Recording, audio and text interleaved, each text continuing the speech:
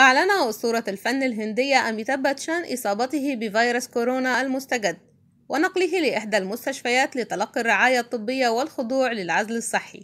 وكتب النجم الهندي صاحب السبعة وسبعين عاما بوست عبر حسابه الشخصي بموقع فيسبوك ليعلن إصابته بالفيروس المتفشي في جميع أنحاء العالم قائلا. أظهرت نتائج اختبار كوفيد اليوم إيجابية التحليل.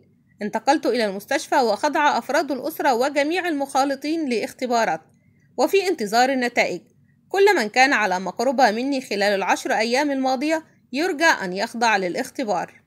ومن ناحية أخرى أعلن النجم أبهيشك باتشان نجل أميتاب باتشان إصابته بالفيروس بعد إعلان والده عبر حسابه الشخصي على موقع تويتر حيث كتب في تدوين له في وقت سابق من اليوم أصبت أنا ووالدي بإيجابية الإصابة بكوفيد 19 لقد أبلغنا جميع السلطات المطلوبة ويتم اختبار عائلتنا وموظفينا.